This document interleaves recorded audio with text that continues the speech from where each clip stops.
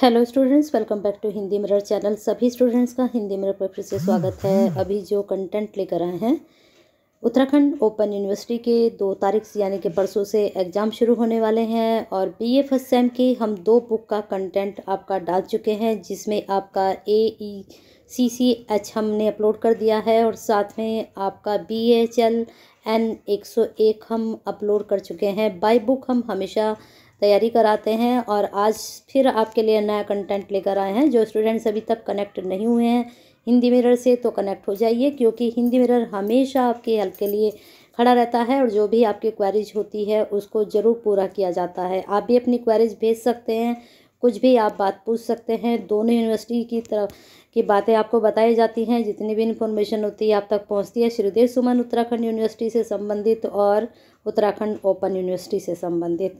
सबकी प्लेलिस्ट बनी हुई हैं। उन प्लेलिस्ट में क्वेश्चन बैंक भी अपलोड है। उनको भी आप एक बार देख सकते हैं। तो चलिए शुरू करते हैं। राजनीतिक विज्ञान के सिद्धांत बी ए पी एस जो स्टूडेंट्स हैं, देख लीजिए किस तरह के आपके एग्ज़ाम में प्रश्न बनेंगे। पहले देख लेते हैं कि कितनी यूनिट इस बार जो नया सिलेबस आया है बीए स्टूडेंट्स के लिए। तो कितनी यूनिट है, यहाँ पर आप देख सकते हैं कि फोर्टीन यूनिट है। सिर्फ़ इसका आप देख सकते हैं कि जो लास्ट ईयर की बुक है, वही नाम है, वही पेपर है और सेम वही आपके बिल्कुल यूनिट्स भी सेम हैं। तो आपके जो प्रीवियस क्वेश्चन पेपर हैं, उनसे ही आप तैयारी कर सकते हैं। अब आपका सेमेस्टर हो चुका है, लेकिन जो ईयरली वाले स्टूडेंट के जो प्रीवियस क्वेश्चन पेपर हैं, उनसे भी आप अपनी तैयारी कर सकते हैं। अब यहाँ पर हमें देखना है राजनीति विज्ञान के सिद्धांत जे पी एस आई यानी कि एक सौ एक। यूनिट देख लीजिए, राजनीति विज्ञान का परिचय राजनीतिक विज्ञान राजनीतिक सिद्धांत राजनीतिक दर्शन।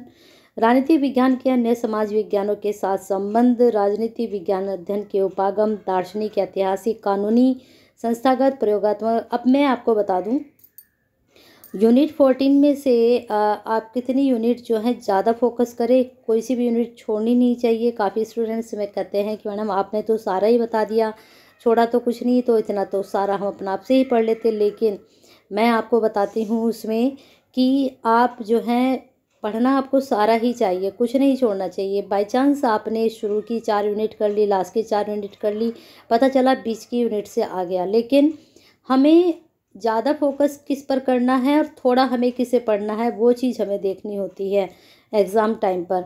तो ज़्यादा फोकस आप यूनिट वन पे कीजिए यूनिट टू पर कीजिए और यूनिट थ्री पे कीजिए, ठीक है? यहाँ से प्रश्न आपके तीनों यूनिट से हंड्रेड परसेंट बनेगा, इतना आप याद रखिएगा। फिर आते हैं आपकी फोर्थ यूनिट को सिर्फ़ आप गो थ्रू कर लीजिएगा, जो आपकी फाइव यूनिट है यहाँ पर, आप मार्क्सवादी उपागम को पढ़िएगा। और व्यवहारवादी उपागम को ज़रूर पढ़ लीजिएगा। सिक्स यूनिट हंड्रेड परसेंट करके जाइए, हंड्रेड परसेंट यहाँ से आपका क्वेश्चंस निकल कर आएगा।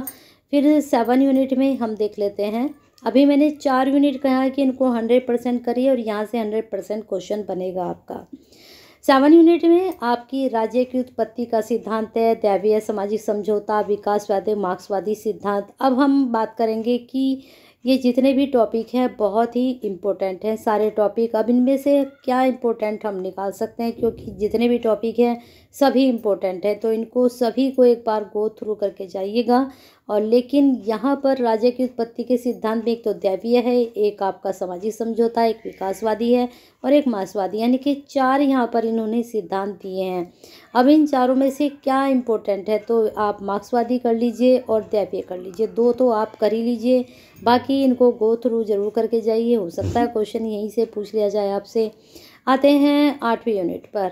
इसमें बताए गए हैं राज्य के कार्य के सिद्धांत। यहाँ पर उत्पत्ति के सिद्धांत थे और यहाँ पर राज्य क्या अर्थ है, प्रकृति है, तत्व है, ये तो हंड्रेड परसेंट करके जाइए, प्रश्न ज़रूर बनेगा। तो कार्य के सिद्धांत में कौन कौन से हैं? उदारवादी है, मार्क्सवादी है, समाजवादी, गांधीवादी और फांसीवादी। तो मार्क्सवादी तो पढ़ के जाइए, मार्क्सवाद आपसे यहाँ से भी पूछ सकते हैं, यहाँ से भी पूछा जा सकता है। ठीक है तो इसको ज़रूर पढ़िएगा और साथ में आप फांसीवाद को पढ़ लीजिएगा, बाकी को आप गो थ्रू कर लीजिएगा। नेक्स्ट टॉपिक है संप्रभुता की संकल्पना। ये आपका नाइन्टी परसेंट बन सकता है और यहाँ पर बहुलवादी सिद्धांत, ये भी आपका नाइन्टी परसेंट बन सकता है और स्वतंत्रता, समानता का अधिकार, ये भी गो थ्रू आप ज़रूर कर लीजिएगा। ठीक है? तो ये कुछ टॉपिक हैं, ये बहुत ज़्यादा इम्पोर्टेंट हैं। शक्ति, सत्ता वैद्यता इसमें शक्ति ज़रूर पढ़ के जाइएगा, ठीक है? शक्ति से भी क्वेश्चन आपका बनेगा।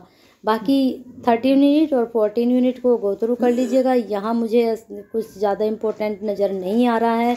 तो मैंने आपको जो यूनिट बनाई हैं, मैंने आपको छः से सात यूनिट बताई हैं। यानी कि फोर्टीन में से आपकी मैंने सात यूनिट तो यानी कि आधा सिलेबस तो आप तैयार करके ज़रूर जाइएगा अच्छे से और आधे को पढ़ कर जाइएगा। तो ये इस प्रकार से ये आपका थोड़ा सा मैंने बताया था। अब यहाँ पर यूनिट वाइज थोड़ा सा देख लेते हैं। कई बार ऐसा होता है कि मैं सारी यूनिट क्लियर नहीं कर पाती हूँ तो इसलिए मैंने शुरू में ही आपको फोर्टीन की फोर्टीन यूनिट बता दी हैं। बाकी अब थोड़ा सा अंदर हम देख लेते हैं किस तरह के क्वेश्चंस यहाँ पर बनेंगे। तो पहला यूनिट में से राज्य राजनीति विज्ञान की परिभाषा क्षेत्र और प्रकृति। फिर राजनीतिक विज्ञान की प्रकृति इसको आप छोड़ सकते हो। राजनीतिक विज्ञान अध्ययन की उपयोगिता और विशेषताएँ, ठीक है? ये आप परंपरावादी भी पढ़ लीजिए, आधुनिक भी पढ़ लीजिए, ठीक है? दोनों ही विशेषताएँ आप पढ़ कर जाइएगा।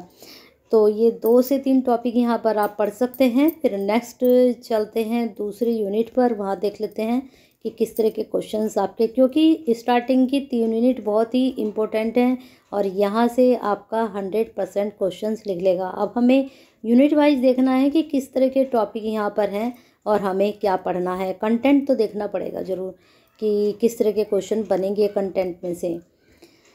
तो चलते हैं दूसरी यूनिट की तरफ़। थोड़ा लेंदी है ये, आ चुके हैं हम आपकी दूसरी यूनिट पर। दूसरी यूनिट में देख रहे हैं आप, राजनीतिक विज्ञान, सिद्धांत, राजनीतिक दर्शन। तो यहाँ आपको क्या पढ़ना है? राजनीतिक सिद्धांत का अर्थ एवं परिभाषा पढ़नी है, राजनीतिक सिद्धांत का कार्य क्षेत्र और इसका महत्व। बस तीन टॉपिक यहाँ पर आप करके जाइएगा। चलते हैं थर्ड यूनिट की तरफ़। थर्ड यूनिट भी बहुत इंपॉर्टेंट है, इसलिए उसके बारे में भी थोड़ा सा बता देते हैं। बाकी यूनिट हमने आपको बताई दी हैं कि आपको वहाँ पर क्या पढ़ना है। यहाँ पर आप देख रहे हैं, दर्शन शास्त्र, समाजशास्त्र, इतिहास, अर्थशास्त्र, मनोविज्ञान के साथ इसके संबंध। तो सारे अगर आप नहीं पढ़ेंगे तो एटलीस्ट आप इतिहास के साथ, समाजशास्त्र के साथ और अर्थशास्त्र तीन शास्त्र के साथ तो पढ़ कर ही जाएगा ये भी हंड्रेड परसेंट पूछा जाता है। चलते हैं नेक्स्ट यूनिट पर फोर्थ यूनिट में देख लेते हैं। फोर्थ यूनिट में क्या यहाँ पर पूछा गया है? वैसे तो ऊपर हम डिस्कस कर चुके हैं। यहाँ आप सिर्फ़ गो थ्रू कर लीजिए। यहाँ पर इस राजनीतिक अध्ययन के उपागम प्रमुख परंपरागत उपागम पूछे गए हैं। हो सकता है यहाँ से लेंदी क्वेश्चन निकल जाए। सारे उपागम को एक बार ज़रूर पढ़ कर जाइएगा।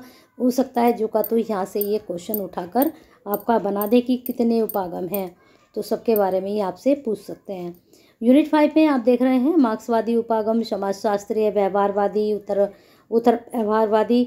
तो इनको मैंने कहा था मार्क्सवादी ज़रूर पढ़ लीजिएगा, व्यवहारवादी ज़रूर पढ़ लीजिएगा, बाकी दो को भी गो थ्रू कर लीजिएगा। काफ़ी स्टूडेंट्स बोलते हैं कि मैडम आप सारा ही बता देते हो, लेकिन सारा बताने के साथ साथ उसमें से इम्पोर्टेंट भी निकालती हूँ और सारा इसलिए कहती हूँ इसको मैंने कहा ना कि इसको आप हंड्रेड परसेंट फोकस कीजिए और ये जो दो टॉपिक आपको बताए जाते हैं इनको गो थ्रू करने के लिए फिफ्टी परसेंट इन पर भी आप फोकस कर लीजिए।